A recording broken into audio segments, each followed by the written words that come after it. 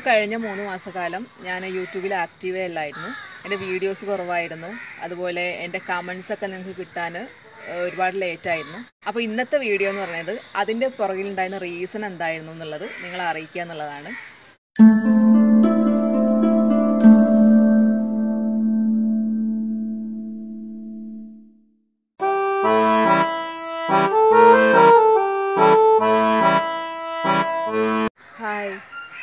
Welcome back to my channel എല്ലാവർക്കും നമസ്കാരം. എന്തൊക്കെയുണ്ട് വിശേഷങ്ങൾ? എന്നെ ആദ്യമായിട്ട് കാണുന്നവരാണെങ്കിൽ എന്റെ പേര് തുളസി. അപ്പോൾ ഇന്ന് ഞാനൊരു വിവരം നിങ്ങൾക്ക് ഷെയർ ചെയ്യാൻ വേണ്ടിയിട്ടാണ് വന്നിട്ടുള്ളത്.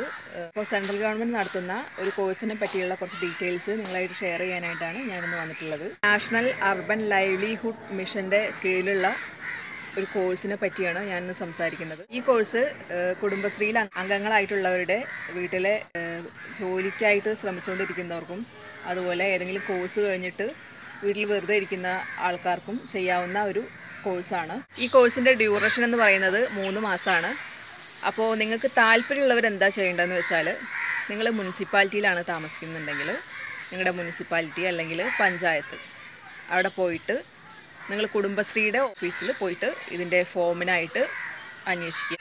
അപ്പോൾ ഈ കോഴ്സിന്റെ പേര് എൻ യു എൽ എം എന്നാണ്. അപ്പോൾ ഇതാണ് ഈ സ്കീമിന്റെ പേര്. അപ്പോൾ ഇപ്പോൾ ഈ സ്കീമിന്റെ കീഴിൽ വരുന്നത് എന്താണെന്ന് വെച്ചാൽ നിങ്ങൾക്ക് തൊഴിലധിഷ്ഠിതമായിട്ടുള്ള പരിശീലനം നൽകുകയും അതുപോലെ പ്ലേസ്മെന്റ് ഉറപ്പാക്കുകയും ചെയ്യുന്നതാണ് ഈ ഒരു പദ്ധതി എന്ന് പറയുന്നത്. ഇത് സെൻട്രൽ ഗവൺമെന്റിന്റെ പദ്ധതിയാണെന്ന് ഞാൻ പറഞ്ഞു. അപ്പോൾ ഇത് തീർത്തും സൗജന്യമാണ് ഈ കോഴ്സ് എന്ന് പറഞ്ഞാൽ മൂന്ന് മാസം നിങ്ങൾ ഹോസ്റ്റലൈസ് ആണെന്നുണ്ടെങ്കിൽ നിങ്ങൾക്ക് അക്കോമഡേഷന് ഫുഡ് അങ്ങനെയുള്ള എക്സ്പെൻസ് ഒന്നും നോക്കേണ്ട കാര്യമില്ല.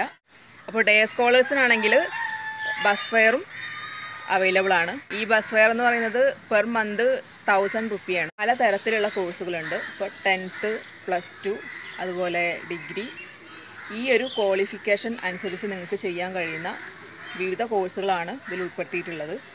അപ്പോൾ നിങ്ങൾ ആദ്യം ചെയ്യേണ്ടതെന്ന് വെച്ചാൽ നിങ്ങളുടെ ക്വാളിഫിക്കേഷനും അതുപോലെ നിങ്ങളുടെ കഴിവും അനുസരിച്ച് നിങ്ങൾ കോഴ്സ് ചൂസ് ചെയ്യുക എന്നുള്ളതാണ്. പിന്നെ നിങ്ങൾക്ക് മുന്നോട്ട് കൊണ്ടുപോകാൻ സഹായിക്കുന്ന രീതിയിലുള്ള ഏതെങ്കിലും കോഴ്സ് ചൂസ് ചെയ്യുന്നതാണ് ഏറ്റവും നല്ലത്. ഇതിലുള്ള കോഴ്സുകൾ ഏതൊക്കെയാണെന്ന് വെച്ചാൽ വെബ് ഡെവലപ്മെന്റ് അതുപോലെ സെക്യൂരിറ്റി അനലിസ്റ്റ് പിന്നെ മൾട്ടി ക്യൂസിൻ ഷെഫ് പിന്നെ ബ്യൂട്ടി തെറാപ്പിസ്റ്റ് ആയുർവേദ തെറാപ്പിസ്റ്റ് അതുപോലെ ഒരുപാട് കോഴ്സുകളുണ്ട് അപ്പോൾ നിങ്ങൾക്ക് നിങ്ങളുടെ കഴിവനുസരിച്ച് നിങ്ങളുടെ കോഴ്സ് ചൂസ് ചെയ്യാം.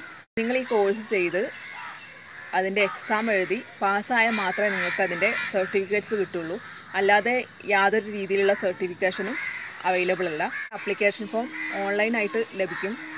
എൻ യു എൽ എമ്മിന്റെ അല്ലെങ്കിൽ കുടുംബശ്രീയുടെ വെബ്സൈറ്റിൽ പോയിട്ട് ഇതിന്റെ അപ്ലിക്കേഷൻ ഫോം ഡൗൺലോഡ് ചെയ്യാം. ഈ ഫോം ഫില്ല് ചെയ്ത് കഴിഞ്ഞിട്ട് കുടുംബശ്രീ ഓഫീസിൽ അതായത് സി ഡി എസിന്റെ ഓഫീസിൽ പോയിട്ട് ഈ ഫോം കൊടുക്കുക.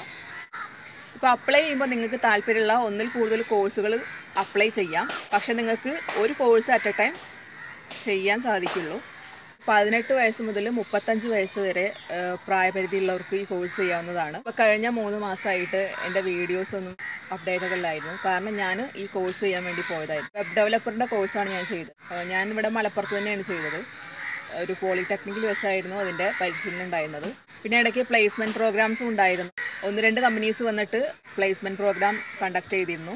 എന്റെ ഒരു പേഴ്സണൽ എക്സ്പീരിയൻസ് നിന്നാണ് ഞാൻ ഈ കോഴ്സിനെ പറ്റി നിങ്ങൾക്ക് പറഞ്ഞു തരുന്നത് ഞാൻ ഈ കോഴ്സ് ഹോസ്റ്റലിൽ താമസിച്ചാണ് കംപ്ലീറ്റ് ചെയ്തത്. ഞാൻ ഈ കോഴ്സിനെ പറ്റി അറിഞ്ഞത് ഇവിടെ ഇങ്ങനെ മുനിസിപ്പാലിറ്റിയിൽ ഇതിനെപ്പറ്റി പറഞ്ഞിരുന്നു. അങ്ങനെ ഞാൻ അപ്ലൈ ചെയ്തു. ഞാൻ മൂന്ന് ഓപ്ഷൻസ് ആണ് കൊടുത്തിരുന്നത്.